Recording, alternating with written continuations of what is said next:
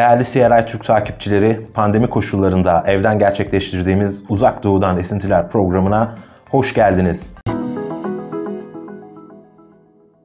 İklim değişikliğine karşı küresel mücadele çağrısı giderek yükseliyor.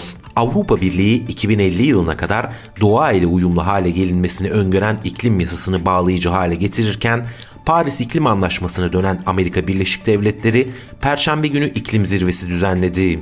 ABD Başkanı Joe Biden'ın daveti üzerine etkinliğe katılan liderler yaptıkları konuşmalarda yeni bir paradigma ihtiyacının altını çizdi. 2060 yılına kadar karbon nötr olma hedefiyle uluslararası kamuoyunun dikkatini çeken Çin Cumhurbaşkanı Xi Jinping zirveye gönderdiği video mesaj ile uluslararası kamuoyuna 6 maddelik yol haritası sundu. Çin lideri Xi Jinping'in konuşmasının ilgili bölümünü okuyucularımızın dikkatini sunuyoruz. İnsanlık ve doğa arasında uyuma bağlı kalmalıyız. Doğada her şey uyum içinde yaşar ve ondan besleyiciliğiyle yararlanır. Doğa ana insanlar dahil tüm canlı varlıkların beşiğidir. İnsanlığın hayatta kalması ve gelişmesi için gerekli olan her şeyi sağlar. Doğa ana bizleri besledi. Doğayı kökümüz olarak görmeli, ona saygı duymalı, korumalı ve yasalarına uymalıyız. Doğaya saygı gösterilmemesi veya yasalarına uyulmaması yalnızca onu intikam almaya davet edecektir. Doğanın sistematik olarak yağmalanması insanlığın hayatta kalma ve gelişme temelini elimizden alacak, bizleri kaynağı olmayan bir nehre, kökü olmayan bir ağaca çevirecektir. Doğayı ve çevreyi gözümüz gibi korumalıyız.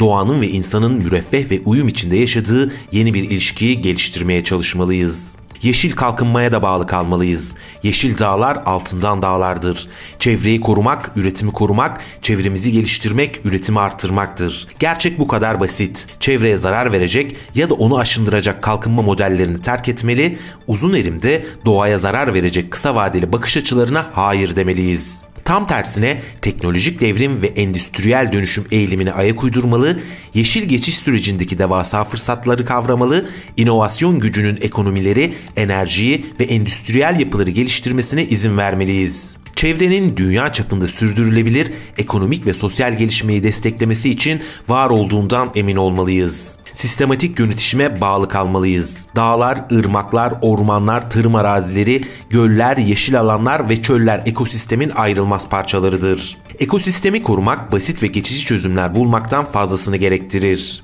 ekosistemin yasalarını takip etmemiz, doğanın tüm unsurlarını ve yönlerini uygun şekilde dengelememiz gerekir. Bu bizi olmak istediğimiz yere, döngüsünü sağlamlaştıran ve genel denge içinde bir ekosisteme götürebilecek yoldur. İnsan merkezli yaklaşıma bağlı olmalıyız.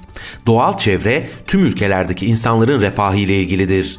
İnsanların daha iyi bir yaşam, daha iyi bir çevre özlemini ve gelecek nesiller için sorumluluğumuzu tam olarak hesaba katmalıyız. Çevreyi korumanın, ekonomiyi büyütmenin, iş yaratmanın ve aynı zamanda yoksulluğu ortadan kaldırmanın yollarını aramalıyız.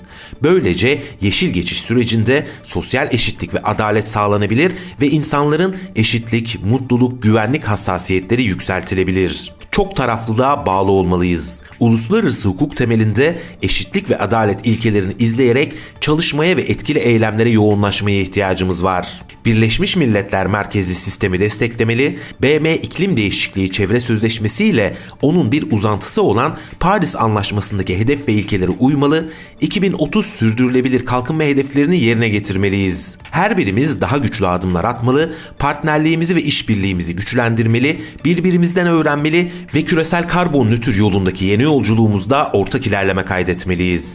Bu, süreçte birbirimize parmak sallamak yerine el ele vermeli, rotayı tersine çevirmek yerine onu devam ettirmeli, sözlerimizden geri dönmemeli, aksine ona sadık kalmalıyız. Çin, ABD'nin çok taraflı iklim yönetişimi sürecine dönüşünü memnuniyetle karşılıyor. Kısa bir süre önce Çin ve ABD tarafları iklim krizine yönelik ortak bildiri yayınladılar. Çin küresel çevre yönetişimini ortaklaşa ilerletmek için ABD de dahil tüm uluslararası toplumda çalışmayı dört gözle bekliyor.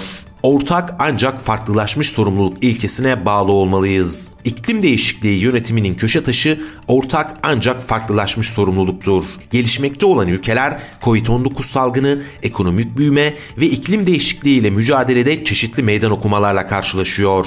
Gelişmekte olan ülkelerin iklim değişikliği ile mücadeleye katkılarını, farklı zorluklar ve endişelerini tam olarak anlamalıyız. Gelişmekte olan ülkeler iklim konusundaki isteklerini ve eylemlerini arttırmalıdır. Gelişmiş ülkeler gelişmekte olan ülkelerin kapasitelerine ve iklim değişikliğine karşı dirençlerine yaptıkları yardımı yoğunlaştırmalı, ekonomik, teknolojik ve kapasite inşasını desteklemeli, ticarette yeşil bariyerler koymaktan kaçınmalıdır. Böylece gelişmekte olan ülkelerin yeşil ve düşük karbonlu kalkınmalarına yardım edilebilir. Çin Cumhurbaşkanı Xi Jinping geçen hafta Perşembe günü iklim zirvesinde önemli bir konuşma yaptı. Xi, insan ve doğa için bir yaşam toplumu oluşturulması fikrini önerdi. Xi, Çin'in 2030 yılından önce karbondioksit emisyonu zirvesine ulaşmak ve 2060 yılından önce karbon nötr olma hedefine varmak için uğraşacağını ve bu amaçları başarmak için büyük çaba sarf edeceklerini söyledi. Çin'in taahhütleri gelişmekte olan ülkeler arasında göze çarpmakta ve bu Paris Anlaşması'nın uygulanmasında uygulanmasında anahtar öneme sahiptir. Amerika Birleşik Devletleri Başkanı Joe Biden, ABD'nin sera gazı emisyonlarını 2030 yılına kadar 2005 yılı seviyesine göre %50-52 oranında azaltma sözü verdi. Bu eski ABD Başkanı Barack Obama yönetiminin taahhüt ettiği emisyon azaltma seviyesinden daha yüksek yeni bir hedefi işaret ediyor. Bu kesinlikle önemli bir karar. Paris İklim Anlaşması'ndan çekilen eski ABD Başkanı Donald Trump yönetiminin tutumundan vazgeçen Biden yönetimi küresel karbondioksit emisyonlarının azaltılmasını desteklemede yüksek bir profile sahip olduğunu iddia etti. Bu elbette güzel bir şey. Buna karşın ABD Başkanı Biden dünya liderlerine sera gazı emisyonlarını azaltmada kendi planlarını önemli ölçüde hızlandırması çağrısında bulundu. Gelişmiş ülkelerin bu çağrıya cevap vermesi gerektiğine inanıyoruz. Atmosfere en fazla karbondioksit emisyonu katkısında bulunan taraflar olarak gelişmiş ülkeler gerekli koşullara ve yükümlülüklere sahipler. Gelişmekte olan ülkeler ise iklim değişikliği ile birlikte sanayileşme yoluyla insanların yaşam standartlarını yükseltme gibi temel bir görevle karşı karşıya. Bu nedenle gelişmiş ülkelerin ülkelerin emisyonlarını azaltmada ortak ancak farklı sorumlulukları olduğunu anlaması gerekiyor. Bütün ülkelerin en iyisini yapması için önemli olan şey çabalarda geriye gitmeksizin ilerlemeye devam etmek ve verdikleri sözlerden asla geri adım atmamalarını sağlamaktır. Çin karbondioksit emisyonlarını zirveye çıkarma ve karbon nötr olmayı başarma çizelgesini ulusal planına dahil etti. Biden'ın açıkladığı ABD'nin sera gazı emisyonlarını azaltma hedefi göz alıcı. Uluslararası toplum Trump yönetiminin Paris Anlaşması'ndan çekilmesinin gölgesini üzerinden atamadı. Biden yönetiminin ABD'nin emisyonlarını azaltma hedefini sürekli olarak uygulaması ve asla bir daha vazgeçmemesini garanti etmesi gerekiyor. Gelişmiş ülkeler emisyonları azaltma teknolojilerinde bir avantaja sahip. Emisyon azaltmaları hızlandırıldıktan sonra yeni endüstrilerin geliştirilmesi büyük faydalara yol açacak. Bununla birlikte emisyonları azaltmanın nihai amacı insanlığın ortak iyiliği içindir. ABD'nin sadece emisyonları azaltmayı hızlandırmada bir örnek oluşturmasına ihtiyacı yok. Aynı zamanda gelişmekte olan ülkelere yardım etmek için teknoloji transferine de öncülük edebilir. Geçen yıl yayımlanan bir anket, Çin vatandaşlarının hükümete karşı memnuniyetinin 2003'ten bu yana neredeyse her alanda arttığını ortaya koydu. Çin Komünist Partisi'nin direncini anlamak, zaman içinde Çin kamu görüşünü araştırmak başlığını taşıyan anket geçen yılın Temmuz ayında Harvard Kennedy School'daki Aş Demokratik Yönetişim ve Yenilik Merkezi tarafından yayımlandı. Anket geniş ulusal politikaların etkisinden yerel kasaba yetkililerin davranışlarına kadar Çin vatandaşlarının hükümeti her zamankinden daha yetenekli ve etkili olarak değerlendirdiğini gösterdi. 2003 ile 2016 yılları arasındaki verileri içeren ankette hem kentsel hem de kırsal bölgede yaşayan 31 binden fazla kişiyle yüz yüze görüşme yapıldı. 2003 yılında merkezi hükümetin %86.1 güçlü memnuniyet seviyesi elde ettiğini belirten anket bu yüksek memnuniyet seviyesinin 2016 yılına kadar daha da artarak %93.1'e ulaştığını gösteriyor. Eyalet yönetiminden memnuniyet 2003-2016 döneminde %75'ten %81.7'ye yükselirken kent yönetimi için memnuniyet oranları %52'den %73.9'a çıktı. Anket halkın Çin hükümetinin performansından memnuniyet duymasının temelinde maddi refahtaki artış olduğunu gösteriyor. Ankete göre Çin vatandaşları sağlık ve refah gibi temel kamu hizmetlerinin 2003'tekinden çok daha iyi ve daha adil olduğunu belirtiyorlar. Liderler iklim zirvesi çevrim içi olarak üç nedenle önemli bir anda yapılıyor. Zirve Joe Biden yönetiminin küresel yönetişim sorunlarını çözme doğrultusundaki küresel çabalara liderlik etme önceliklerini işaret ediyor. İkincisi dünyanın iki önemli ülkesi Amerika Birleşik Devletleri ile Çin arasındaki gelişmiş ve yapıcı diyalog için umut veriyor. Üçüncüsü küresel ısınmaya katkıda bulunan büyük karbondioksit ve diğer gazların en büyük salınımını gerçekleştiren ülkelerin kirletmelerini sınırlandırmaya söz vermelerini hızlandırıyor.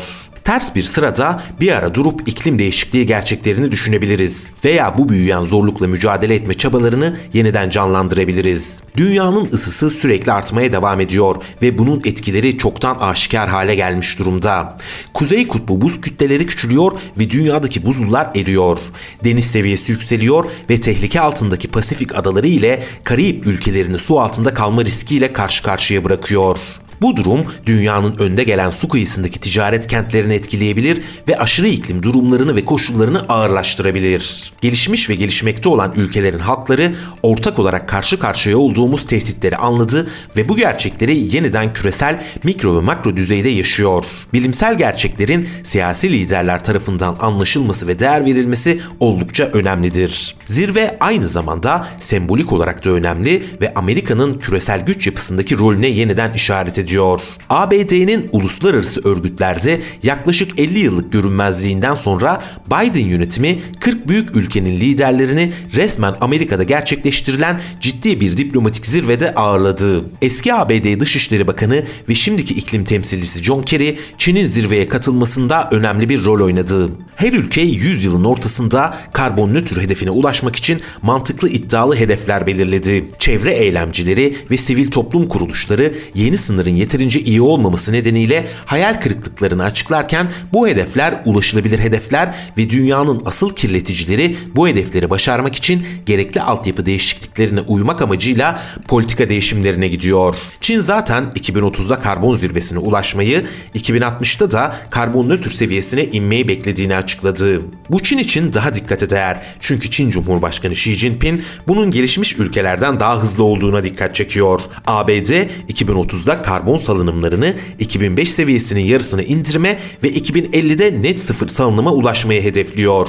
Avrupa Birliği zirveye hazırlanırken 2030'da net sera gazı salınımlarının 1990 düzeylerinin yarısından fazlasını indirmeyi taahhüt etti. Bu rakamlar teknik bir bakış açısından oldukça önemlidir.